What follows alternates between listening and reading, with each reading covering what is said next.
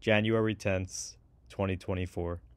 It has been 25 years to the day since the pilot of the greatest television show ever aired in 1999. I've spent the last few months researching some of the most complex and obscure fan theories out there, using this JPEG as a guide, and I'm happy to finally get this out there to share with you all. At the risk of yapping worse than six barbers, I'll just cut to the chase. Enjoy the show. In the Czech Republic, too, we love pork. Ever had our sausages?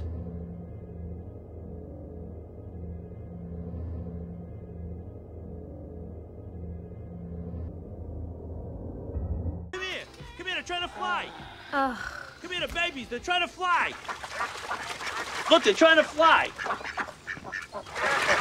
Ducks are shown prominently throughout the course of the show, at least predominantly during the first couple of seasons. While what the ducks mean for Tony is ultimately open to interpretation, I think most would agree that at a base level, Tony is enamored with their innocence and natural predisposition to stick together as a family, without all of the BS and violence human beings constantly inflict on one another. Throughout the show, Tony constantly complains about his upbringing, particularly throwing his mom under the bus, and often echoing the notion that he did not choose a mob life, but that it and all of the violence and immorality chose him. So the duck symbolize some kind of escape or fantasy for Tony, which in my opinion is sort of also the manifestation of the character known as Kevin Finnerty too later on, during Tony's coma dream. Side note, gotta love the hypocrisy of Tony, who loves ducks, yet signs off on asbestos being poured into their environment. Hypocrisy is a huge, if not the biggest theme of The Sopranos, a theme in which I'll be alluding to often in this video. You wanna know what I'm thinking? Seriously? Thinking I'd like to take a brick and smash your face in a hamburger. This bit on the iceberg suggests that the show The Sopranos is much more than your typical crime drama. Indeed, the show does tackle extremely dark truths of morality, mortality, hard truths on life, relationships, betrayals, etc. While conveying all of these deeply serious and often troubling truths, somehow also finding a way to make us laugh all the while with some quip or punchline, so as to keep things at a baseline charm. They are not going anywhere! I'd rather smother them with a pillow than take them to Nevada! Always with the drama. The Many Saints of Newark is the 2021 prequel film to the hit show, which takes place roughly 30 years prior to the events of The Sopranos. The film's central protagonist is Christopher's late father, Dickie Moltisanti, who is mentioned several times during the show The Sopranos. Basically, all characters who appear in The Sopranos appear in this film in some capacity. While the film has received mixed reception at best, it, at worst, is the first and only extension of the universe since the show ended in June of 2007. With this film breaking the 14 year drought, it does make you wonder if we might see another follow up film or TV series in the future. You need another kid like you need a fing hole in the head. What are you doing? Put that back. Oh, fine. So you think I should get an abortion? But Ralphie's the father, you'll be doing this kid and the next few generations a favor. You'll recall Tracy as one of Ralph Cifaretto's girlfriends, who appears in just a couple of episodes of the show. Tracy was a stripper who worked at the Bing, and one night Ralph beats her to death behind the Bing, which is especially awful because, in addition to being really young, possibly as young as 18, uh, she was also pregnant with their baby. Of course, this despicable act likely did aid in Tony's decision to kill Ralph, who of course was a made guy, who are supposed to be untouchable. While murdering Ralph, Tony says the following She was a beautiful, innocent creature. This bit on the iceberg suggests that Tony's referring to Tracy as a beautiful, innocent creature, while pummeling Ralph to death. What's your favorite scene? I, I can't have this conversation again. When Vito goes back to Sicily, the crickets, the great old house. Oh, it's beautiful. The show is considered by most to be the greatest show in television history. Tony Soprano is considered the original and greatest anti hero of modern television. Without Tony Soprano, shows like Breaking Bad or Boardwalk Empire would probably cease to be.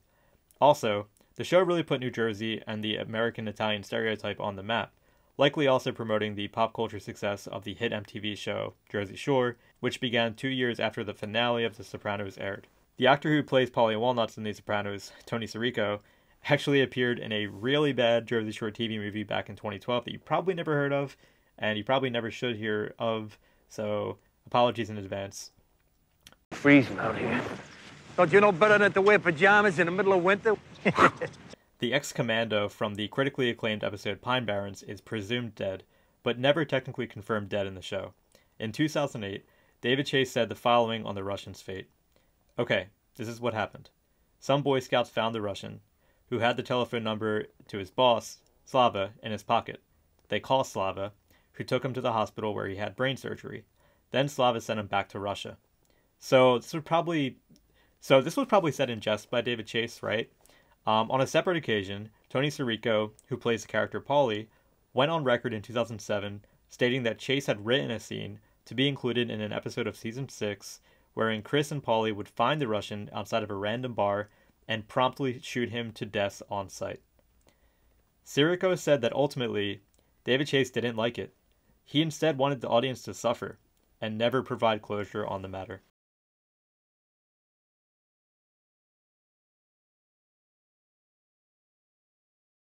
The finale of The Sopranos, Made in America, was the second episode directed by David Chase, the first being the pilot of the show. The ending scene of the finale is indeed strange, and you can even argue that this five minute scene could serve as its own self contained movie. Guy walks into a diner, is over aware of his surroundings, tries to chill and order some onion rings for his family, and this kind of appears to be a typical weeknight meal on the surface, but there's definitely this underlying dread behind everything. The camera often zeroes in on this guy in the members only jacket, and eventually he enters the diner's restroom, precisely at Tony's 3 o'clock. And of course, this is a reference to that Godfather scene. While this is going on, we see his daughter attempt to parallel park a few times, until finally succeeding on the third try. The number three is a recurring theme on this show. It's also widely accepted that the final moment of the episode cuts to black because this is Tony's last moment of consciousness, as he looks up at Meadow entering the diner while getting clipped by the members only gunman again at Tony's 3 o'clock. And this takes us to our next subject.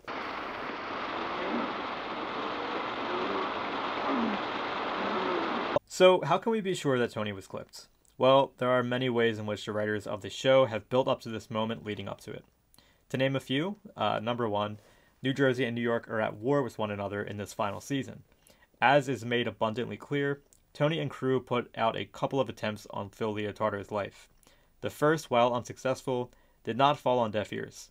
The second hit was a success, and in fact takes place during the finale of the show.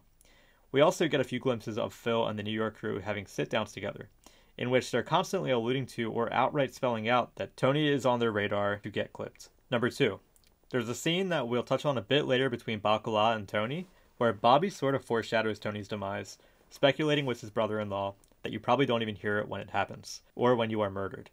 If we go a step further and assume Bobby means executed via gunshot wound to the head, well, then yeah, the final moment of the show is precisely what happens here. Tony is clipped. Brain matter all over the diner booth and all over his son and wife. Uh, and just as a side note, there's an excellent video by Scenic Media that goes a step further and speculates that not only was Tony murdered, but even Carmela and AJ, due to a ton of what would otherwise be totally unnecessary symbolism of the number 3 during the 5 minute diner scene. He also argues Meadow witnesses all of this and survives, thus appearing 15 years later in that 2022 Chevy Silverado Super Bowl commercial where she encounters her brother as a ghost or specter. I know this sounds ridiculous, I know, but I really encourage you to give that video a shot before you roll your eyes, because his breakdown is actually more compelling than you would think. I mean, Chase was actually involved in shooting that commercial, which in my opinion lends credence to the whole thing. But I digress. And then finally, number three on why I believe Tony was clipped is that generally in The Sopranos, a pretty common way in which they pan the camera as a creative slash directorial choice is often by filming Gandolfini's facial expression of something that's in front of him, followed immediately with a shot that's taken from Tony's literal point of view. If we assume this filming method is being used in the final frame, then panning back to Tony's point of view into a black void of nothingness assumes that he's gone. Hey, Tone. You know I've been working with the government, right, Tone? Don't say it. Anyway, four dollars a pound.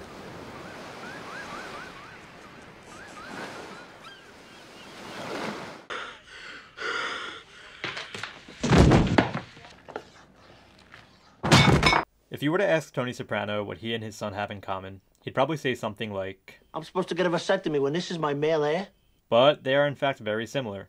In therapy, Tony is frequently complaining to Melfi about his existential crisis.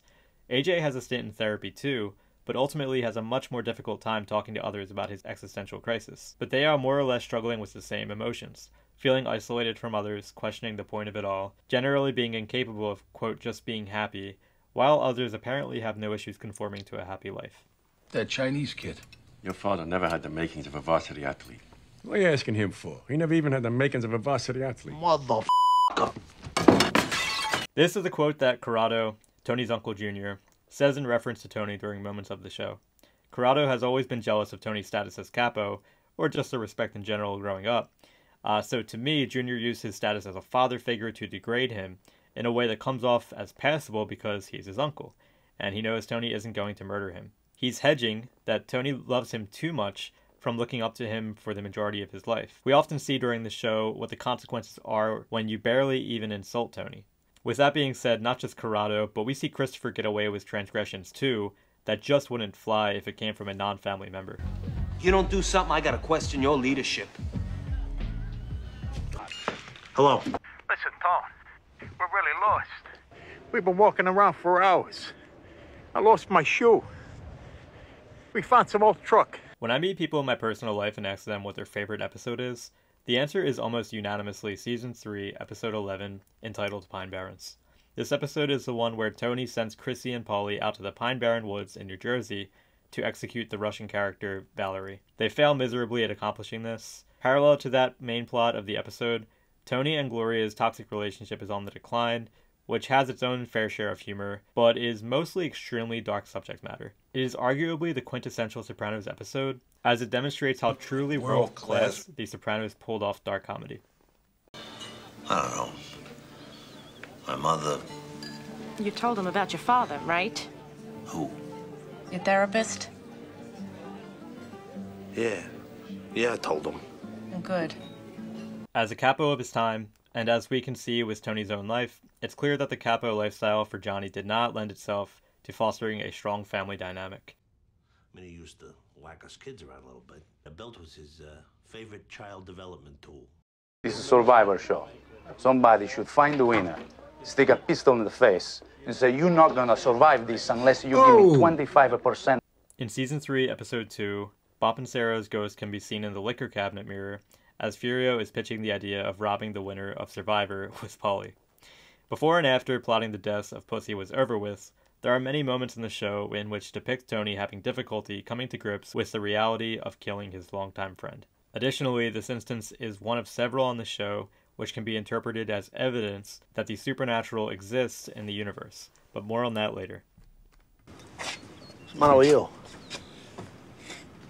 Sad for my father. All right, but you gotta get over it. Not sure what the iceberg means here by subtle, but there are many instances in the show where Tony appears to be void of empathy. One scene that particularly comes to mind for me immediately is during a therapy session with Melfi, in which he brags to her about effing Irina, citing her young age and coming off completely unhinged in the process. Or when Furio is crying to Tony about his air quote father passing away, and Tony immediately tells him to get over it. And then, of course, followed by the scene immediately afterwards where Tony is bawling his eyes out in a therapy session with Melfi. Or when he promises to Vito's widow and family to help financially, but then proceeds to go on his worst gambling binge of his life with that money, rendering himself incapable of helping anymore. If you get sick or something happens and you can't earn, we'll take care of you, because that's part of it.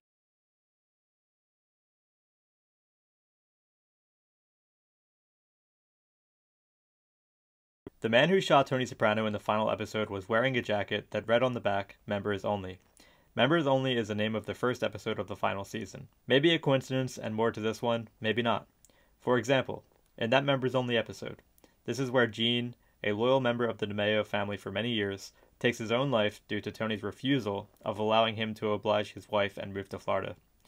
There are fan theories that suggest a close party to Gene helped orchestrate Tony's execution and revenge, thus the jacket being labeled after the episode. Members only generally is defined as denoting a club or society exclusive to members.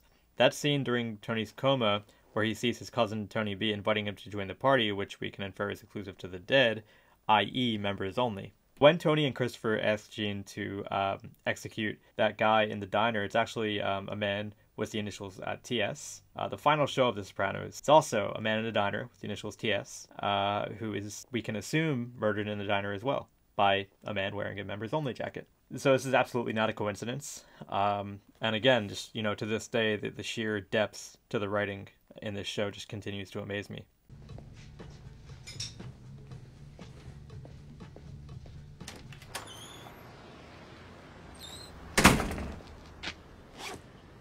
For quite some time, Paulie had been buddying up with members of the New York family, in addition to questioning Tony's decisions, which became more and more dangerous towards the end of the show.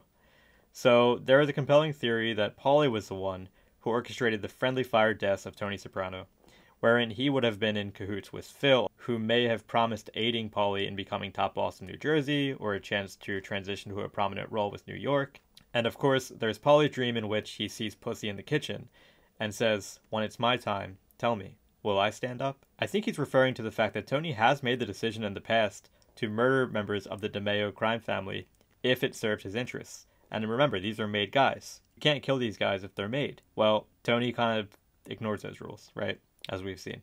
Here, Paulie believes that Pussy can see the future given he is in the afterlife, so he is asking him if he will lie down and comply, letting Tony kill him, as Pussy did, or will he instead stand up for himself? There's also that theory that um, during one of the last moments on the show, uh, where Paulie is having a sit down with Tony and Butch, and it's kind of a New Jersey, New York sit down, where obviously there's so much tension in the air you can cut it with a knife. And we see that Tony is sitting in a very specifically different chair than everyone else. Like it's it's, it's red, uh, and it contrasts every other chair. We see Paulie uh, shaking hands with New York while Tony's back is turned. So kind of an interesting theory, and yeah, uh, Paulie just may have in fact have had something to do with Tony's murder.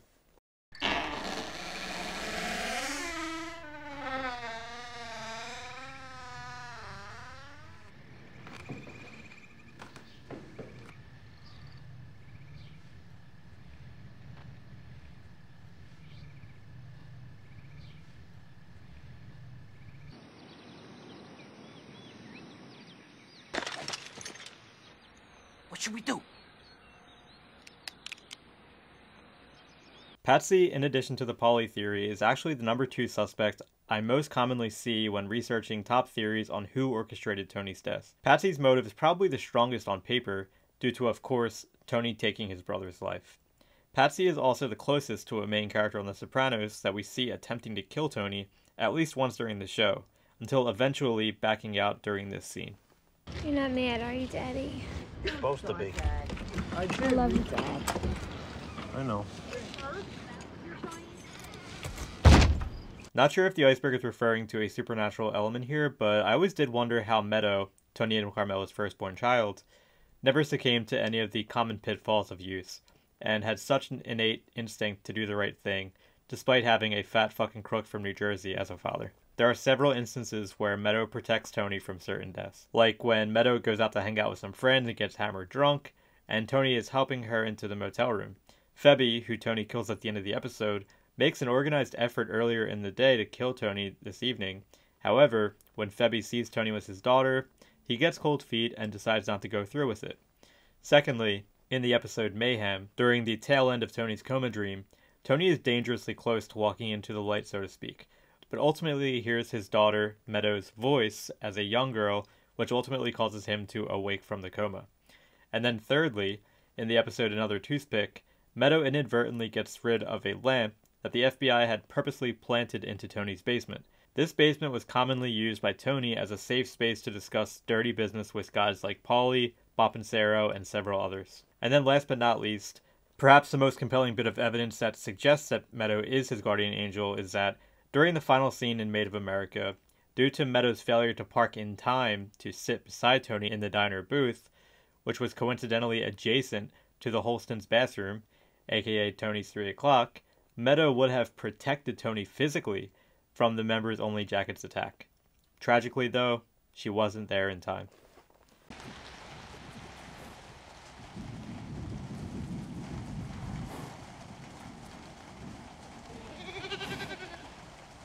What makes Sopranos so captivating to me was always its ability to keep the audience engaged while leaving many events in the show open to one's interpretation. Ralph's character has characteristics of a psychopath, a dumbass, a liar, and hints here and there of actual intelligence. Tomorrow I can be on time, but you'll be stupid forever. This bit on the iceberg suggests that the actor who plays Ralphie was never actually told who killed Pie-O-My, so in doing so, this actually spared the audience of being able to study the character's body language on the likeliest outcome. Though the leading theory, of course, is that it was Ralph who killed Pie-O-My, and of course this was something that David Chase openly admitted to during an episode of Talking Sopranos. Gino, what can I get you? Oh! It's all right, Doug. You let him go first. Gino is the name of the character in the donut shop with Christopher. This character only appears in this episode, but it is played by the same actor who would eventually play Vito.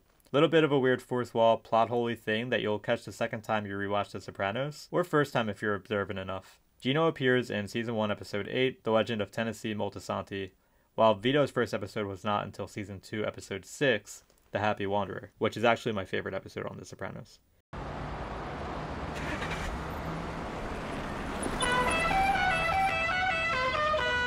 This was a Chevy commercial that aired during the Super Bowl last year in 2022. The ad features Meadow and AJ reprising their roles for the first time in roughly 15 years. As alluded to earlier, the Scenic Media YouTube channel analyzes this commercial in great detail to illustrate that the commercial is canon and confirms the notion that Meadow is alive and well, but that Tony, AJ, and Carmela were murdered 15 years ago to this day. I implore you to check that video out.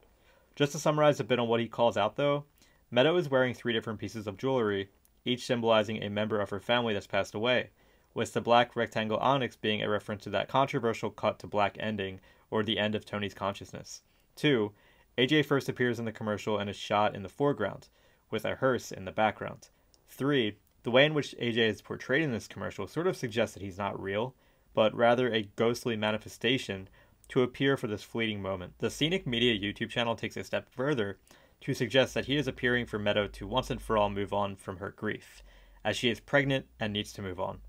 Here's why we can assume this. Number one, during the beginning of the commercial, where Meadow is driving from New York to New Jersey, it is a one to one identical opening from The Sopranos opening, except for one crucial detail. Tony passes a funeral, while Meadow passes a playground. This must suggest children in her future. Secondly, she is wearing an engagement ring. We can assume she is married to Patsy's son, or she has a new fling who isn't connected to the Mafia at all. Again, big shoutouts to Scenic Media on YouTube. Link to his video in the description. To add to his analysis, there's also a shot that depicts Meadow totally nailing her park job against the curb. So is this a callback to her taking those three attempts from way back during, you know, the finale, Made in America? Let me know what you think in the comments.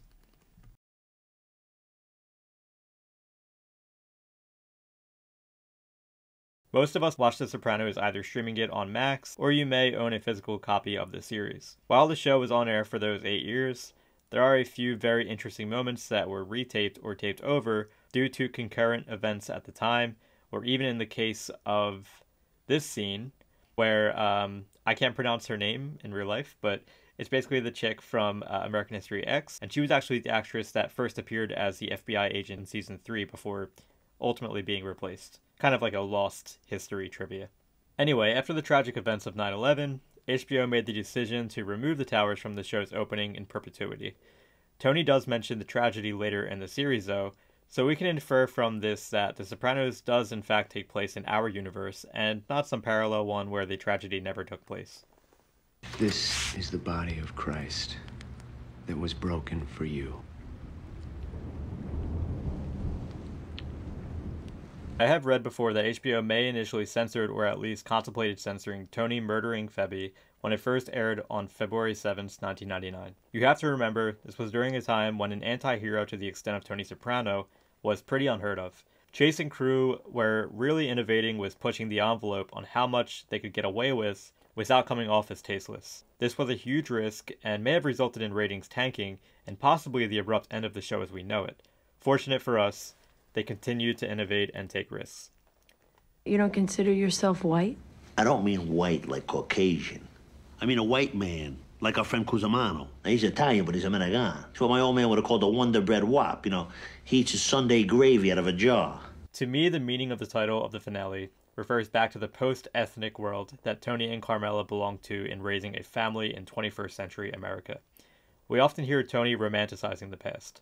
Namely the good old days during his father's time as number one, before all the neighborhoods lost their Italian identity, back when there was a real need for mothers to cook food for their families and stay at home, and back before therapy existed in the capacity that it exists today. If we were to break down a few of these examples in which Tony romanticizes the past compared to Tony's life during the show, we can identify Tony's issues with modern day society. On the neighborhood front, the old neighborhood lost its Italian footprint because, as we all know, America is a melting pot. Gone are the days of first generation Italians existing in their own neighborhood. We see New York underboss Butch make this observation in the final episode, where Little Italy is shrinking rapidly before his eyes. We also see Paulie and Patsy lament about their Italian subculture losing prominence during different coffee shop scenes. As far as women cooking for their families goes, Carmela is a character who spent the majority of her adult life being a homemaker, or succumbing to the traditional stereotype that women don't belong in the workplace, and ought to stay at home like Livia and women before her did. Of course, too, with Carm, we see her grimace towards women who branch out from the stereotype and spread their own wings to earn a living, i.e., when Pussy's widowed wife buys a Corvette with her own money, or even oftentimes being jealous of her own daughter, Meadow, when she excels in areas that Carm never bothered to. And then, last but not least, of course, the nature of how widespread therapy slash mental health has become in the 21st century. Tony spends a lot of time remarking to Melfi that he more or less feels the men of today are crybabies.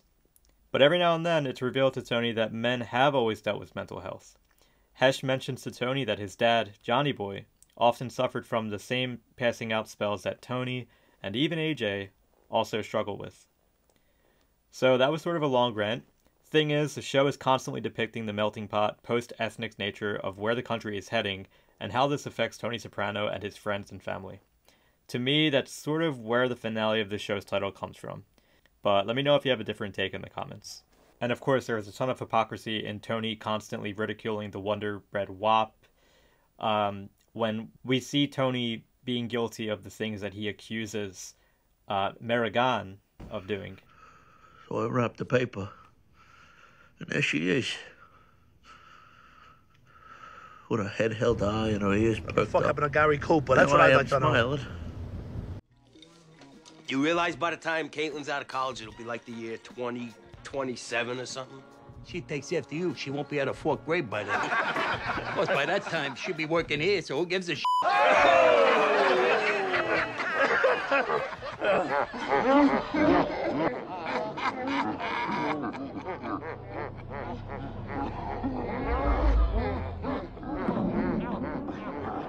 He was a good man, wasn't he, Phil? He was.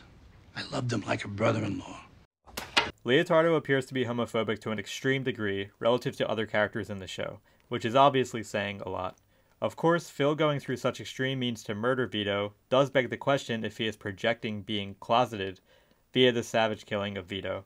Personally, I always found that Phil and Richie Aprile's vehement homophobia may stem from their time in the can, perhaps both being victims of sexual abuse or rape. It is true that Phil is a survivor of one or several instances of rape. Perhaps he copes with his trauma by looking to punish Vito for his desire to engage with other men sexually. This might sound kind of ridiculous, uh, but let me know what you think in the comments. I mean, you know, perhaps Phil was jealous of Vito, since if Phil really was gay and sexually assaulted in prison and, you know, aroused by that kind of stuff, he likely will forever associate intercourse with men with being raped in prison. Thus, in Phil's warped reality, pledges to find Vito and then torture him to death. And we see kind of ways in which the show writers are kind of alluding to this, possibly, or just kind of poking fun at, you know, Phil in general just being really homophobic. Like that one time he he turns off the bodybuilding competition, which why is that even on in the first place? It's kind of hilarious. Can't let your mind dwell on. Turn that off. Uh, and then two, you know, like I've mentioned earlier, he ambushes Vito and is emerging uh, in kind of like a dramatic fashion from the motel room closet, which obviously is a play on coming out of the closet.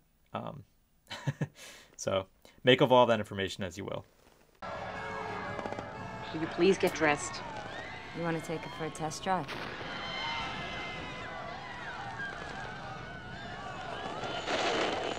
There are several instances on the show where we get glimpses into Tony's dreams. Here we see a wide range of Tony's hopes, dreams, and nightmares, ranging everywhere from his sexual fantasies with Melfi. On top of the fantasies, we more often see glimpses of his fear of death, or anxiety leading up to killing friends of his, most notably Big Pussy. He was a victim of his time. Uh, who cares? It's what he did. He discovered America is what he did. And in this house, Christopher Columbus is a hero. End of story. There is a large subset of Sopranos fans who lean conservative. I can't say this would surprise many, as I'm sure we all agree that the protagonist, Tony, would certainly identify as such. He often clashes with his son and daughter on political and social issues, who both lean more liberal over the course of the show. You're dragging me to hell. What's You're the matter? dragging me to What's the hell. matter? You're dragging me to hell. Paulie, Paulie! You had a nightmare, honey. Of any character in the show, Paulie Walnuts is the only one who basically has his own subplot of constantly looking over his shoulder and obsessing over the paranormal. He is constantly waking up in a cold sweat from nightmares and has an unhealthy obsession with the 3 a.m. hour at night. Paulie's mother is coincidentally a nun who disgraced her oaths to God by getting knocked up and conceives Paulie as a result, a fact which Paulie wouldn't realize until the end of the show. Paulie also has his run ins with apparitions on the show, but more on that later.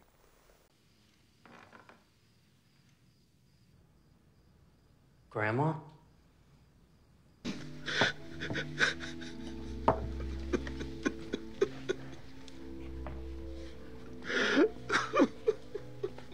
There is a scene in an earlier episode where AJ feels Livia's presence in the house while he is home alone. He calls out her name and awaits an answer. The scene indeed has a strange, cursed aura to it.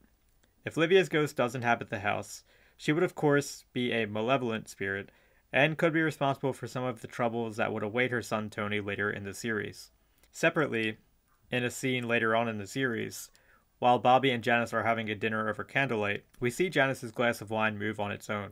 Now, I've rewatched The Sopranos probably over eight times in my lifetime, and I'm always dumbfounded when I discover yet another nod to the paranormal in this show. Whether this was Karen's or Livia's or someone else's spirit moving the glass, this is very much up for question.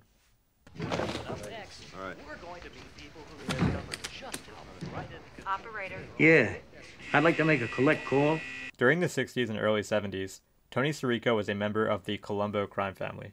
He was active in neighborhoods in Brooklyn, Bath Beach, and Gravesend. Sirico was known for being tough, sometimes taking things from others, and driving for other gangsters now and then. He was arrested a total of 28 times during his life. In 1967, Sirico was sentenced to spend 13 months in prison for robbing a nightclub. Four years later, he was sent to jail again, but this time being given a four year sentence, of which he only served 20 weeks before he was released. Things are good.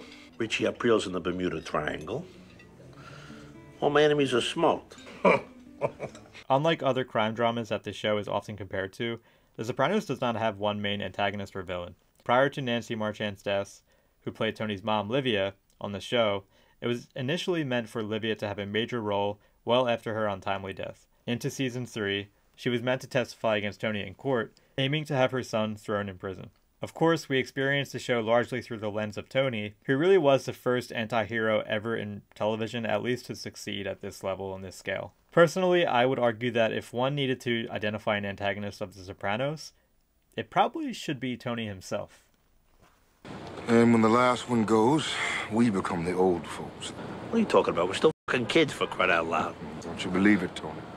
When the last one dies, it signals the beginning of the last stretch for us.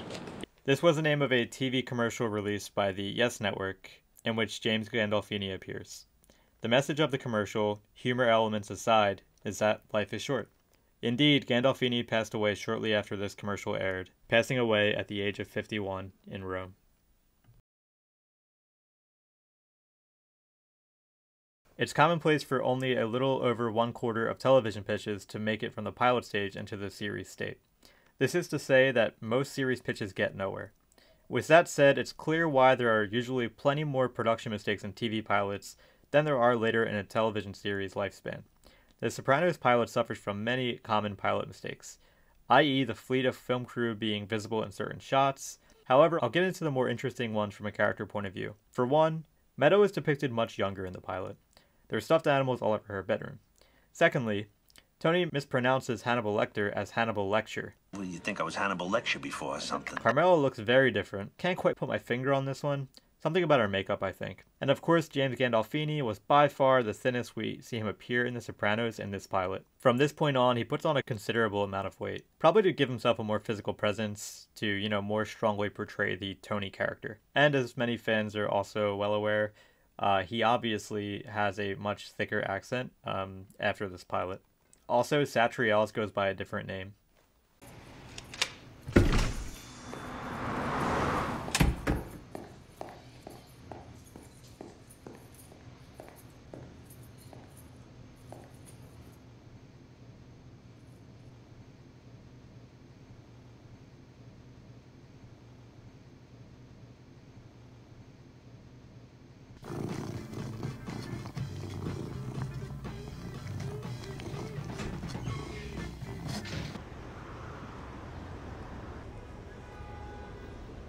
The cat in the back office of the Bing is hyperfixated with the portrait of Christopher in the last episode of The Sopranos.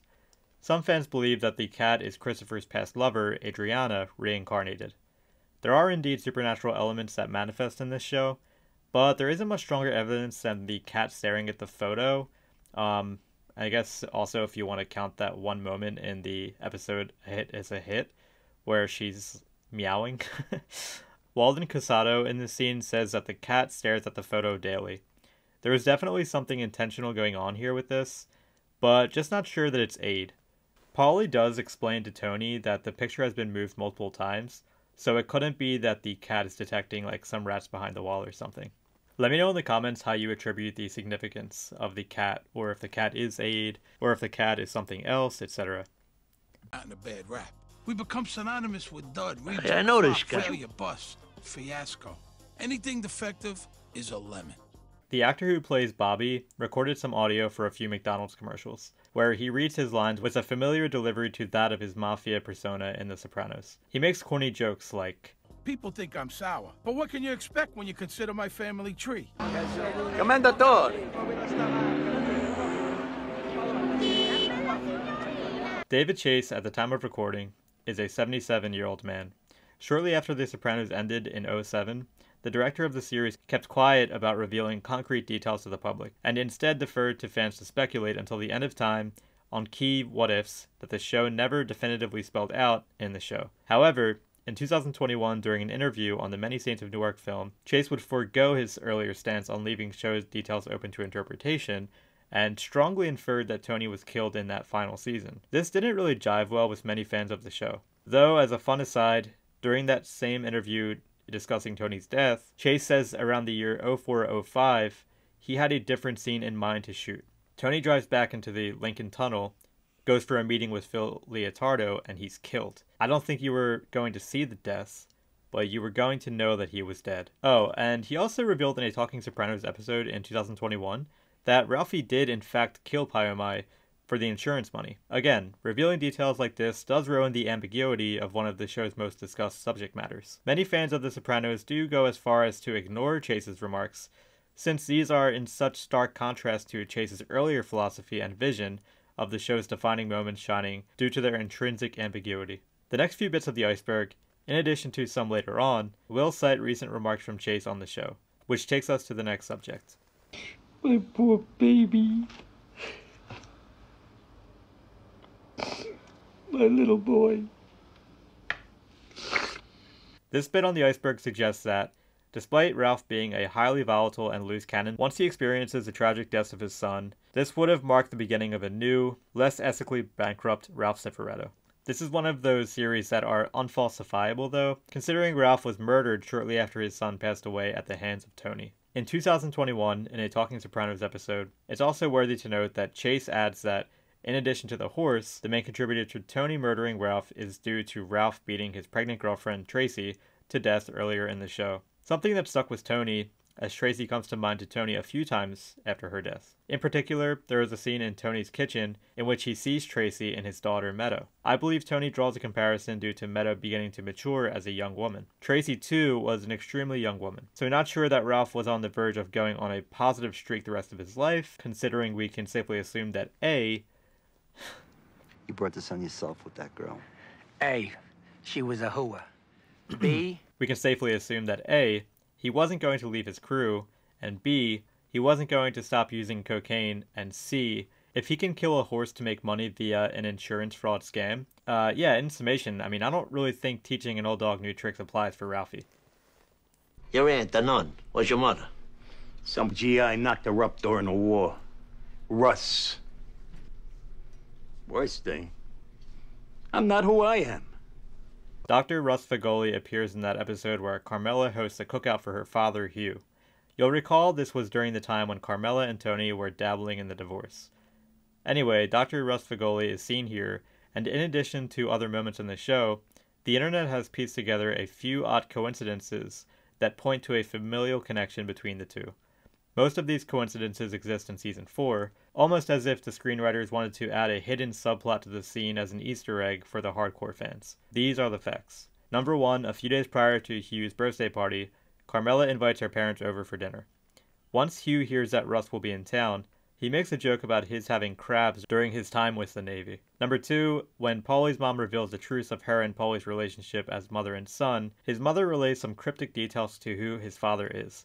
She doesn't say anything really before Paulie storms off in a fit of rage, but she does relate to him that she was knocked up during World War II by a soldier named Russ. Number three, they are the only two characters in the show that suffer from prostate cancer. There is a scene in which Paulie's doctor actually asks him over the telephone if he's aware if his father, in particular, also suffered from the cancer. Russ reveals to Hugh at Hugh's cookout party that he had his prostate undergo radiation. So yeah, make of this info what you will an abandoned subplot, or maybe just a fun connection the showrunners decided to throw in as a harmless nod to the overall world of Sopranos lore. Let me know what you think in the comments.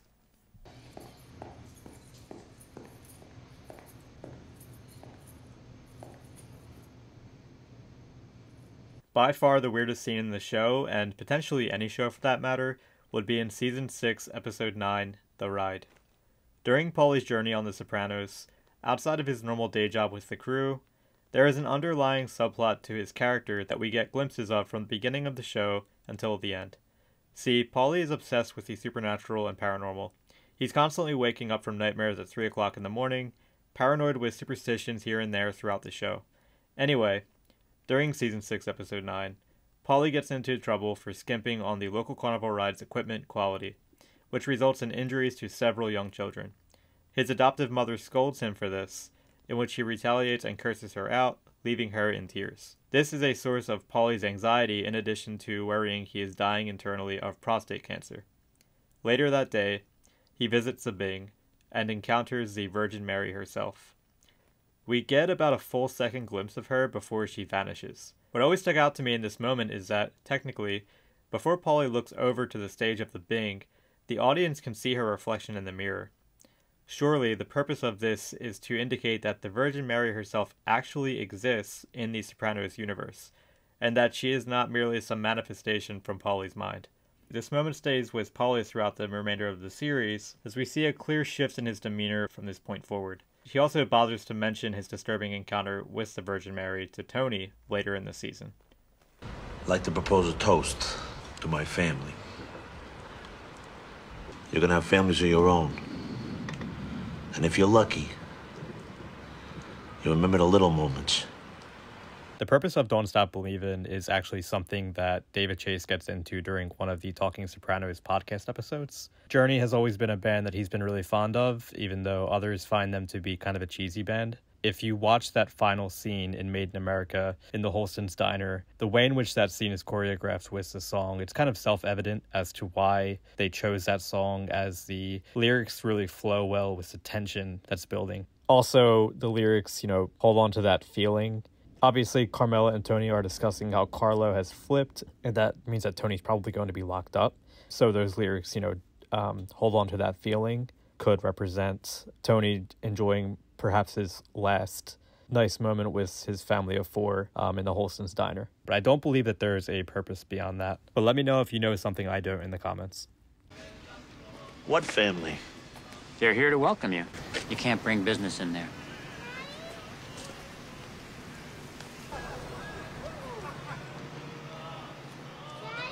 So there's a scene where Christopher, obviously, when he is shot, he comes out of his coma talking about how he didn't go to heaven, but rather hell.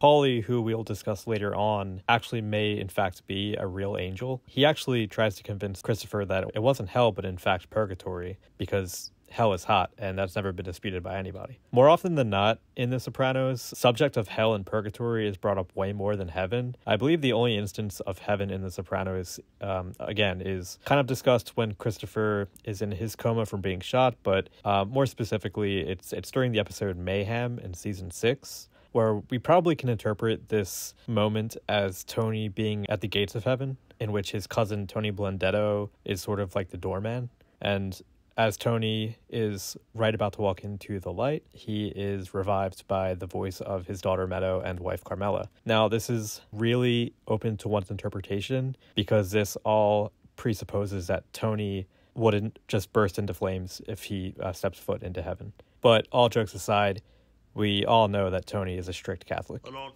don't forget, I'm a strict Catholic. Go back to New Jersey. Phil, what are you doing? Cooler heads prevailed. Uncle Philly. There's nothing left to discuss, Carmine. This is just a fun throwaway on the iceberg. Phil doesn't actually turn into a house, but once Phil is no longer willing to meet Tony physically due to uh, losing his brother at the hands of Tony Blundetto, Phil is only willing to shout down to street level to speak to little Carmine and Tony. So it looks as if it's the house speaking to Tony, and it, it's kind of hilarious, but yeah, there's just a little bit of background on that.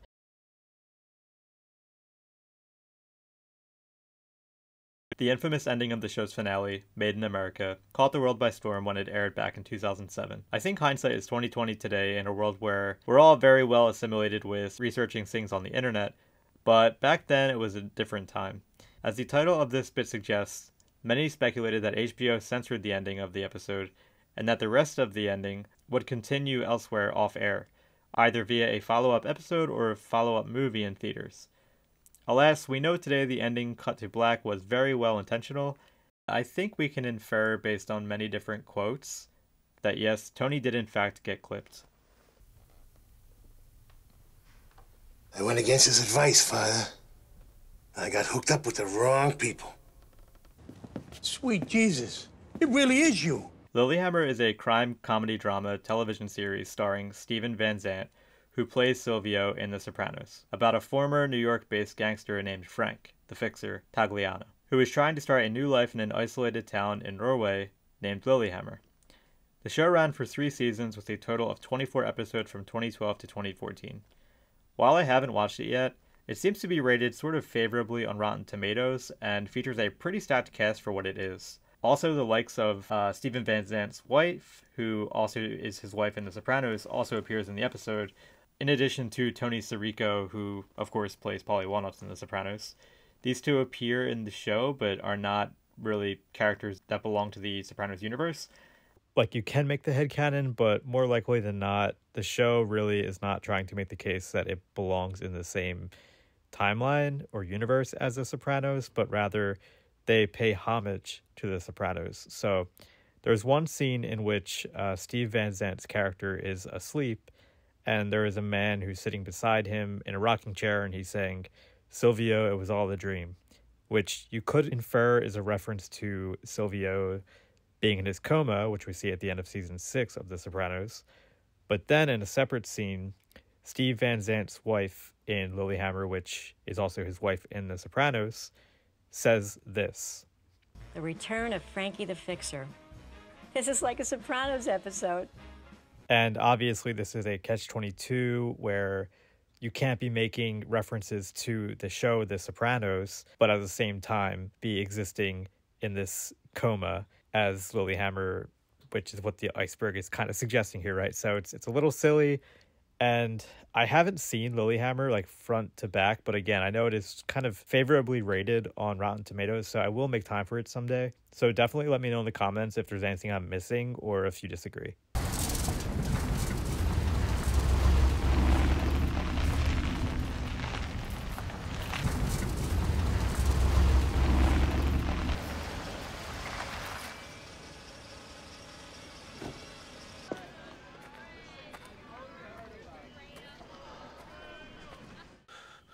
It's all big nothing. What is? I've Everything's black.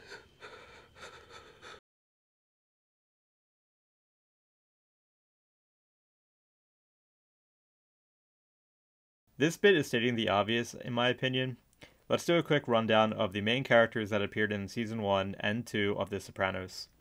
At the end of the series, Chrissy, Bobby, Pussy, Ralphie, Richie, and Vito all wind up clipped. Sil is in a deep coma and it doesn't look like he's going to make it out of it.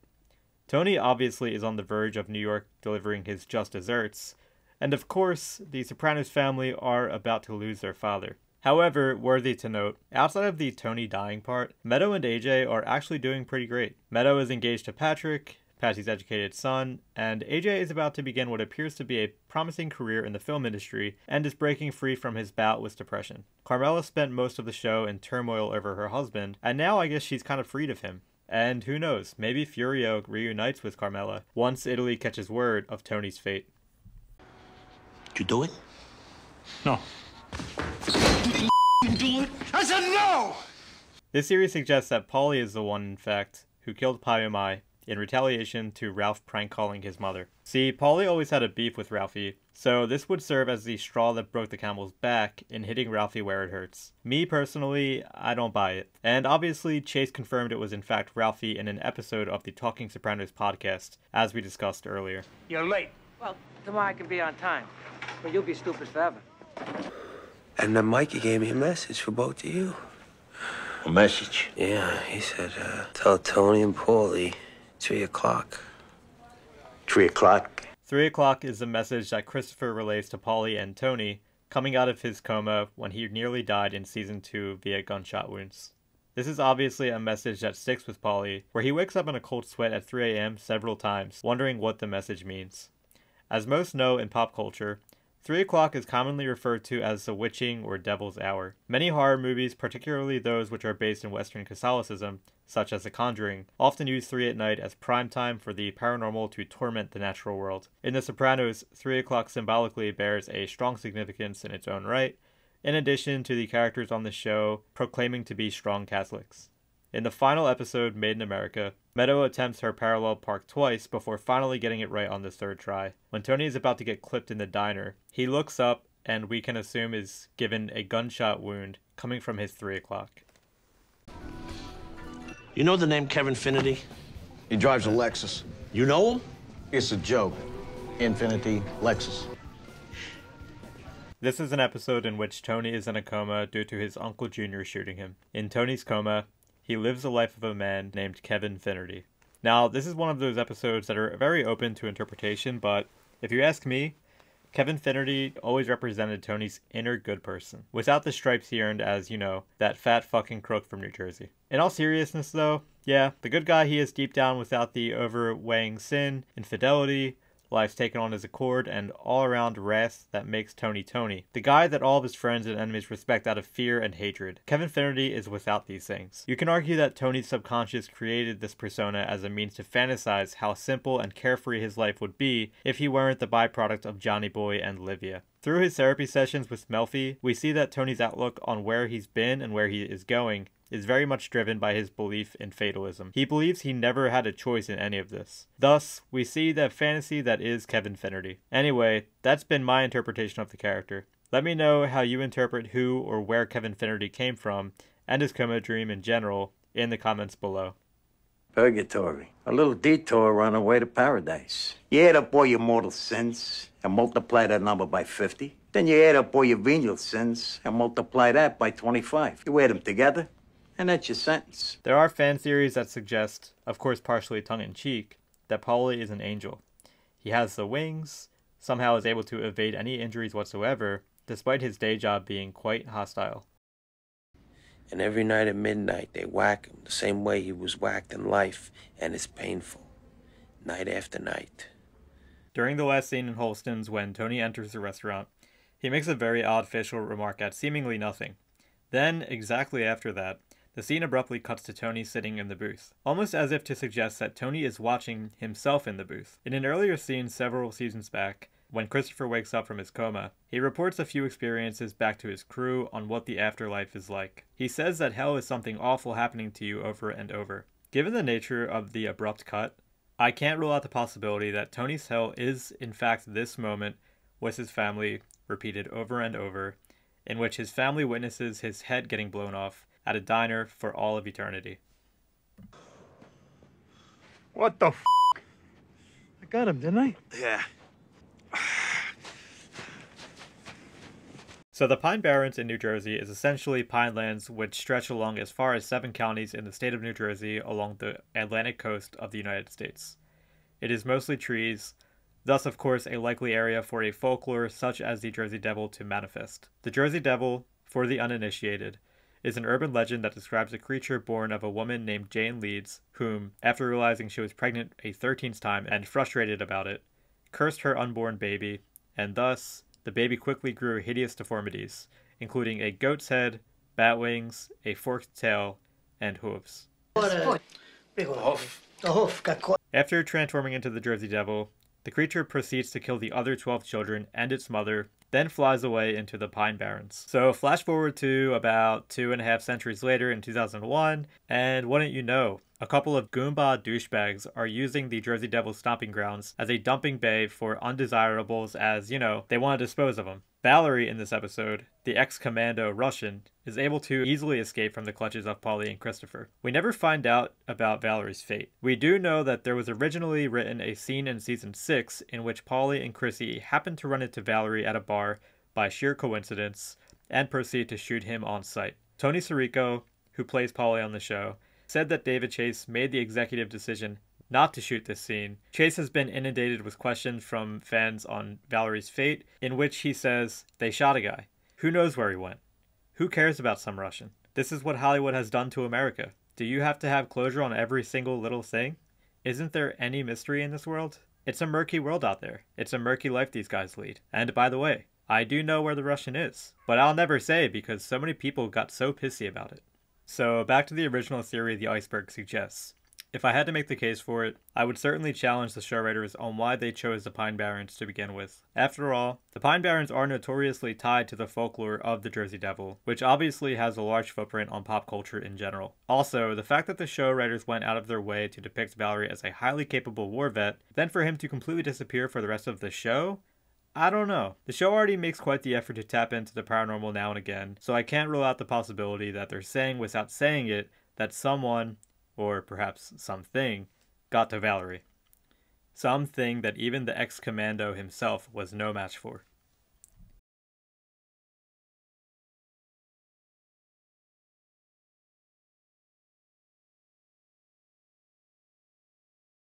During Livia's wake, shortly after we see Bonpensiero's ghost in the closet mirror, in the background we can make out a man taking a look at the downstairs for a peek, before making his way back upstairs. Since we see Pussy's ghost here, it's safe to say that the area in general feels haunted. This leaves the door open to the man perhaps being the ghost of really anyone. It could be Dickie, Johnny Boy, I've even seen some say a younger junior. Never heard of a ghost appearing of a person who hasn't passed yet? Then, of course, despite this being an iceberg video, and the low hanging fruit in each subject is to find its edgy, haunted angle, the easier outcome is likely what Sopranos does best in the realm of comedy, where this is likely that it's just some dude who got invited, is hiding upstairs, waiting until the wake is over, and it becomes socially acceptable for him to F off and go home. Let me know what your thoughts are in the comments. And that should do it for the iceberg. I had so much fun rewatching this show, probably like five times over while making the video. The Sopranos really is a gift that keeps on giving, and it never gets old. So, to commemorate the 25 years of The Sopranos, let me know in the comments your favorite episode and or a memory, scene, or discovery that stands out to you. And if you would like to see more content and want to help support the channel, please consider dropping a like on the video and subscribing for future content. And thank you again for watching.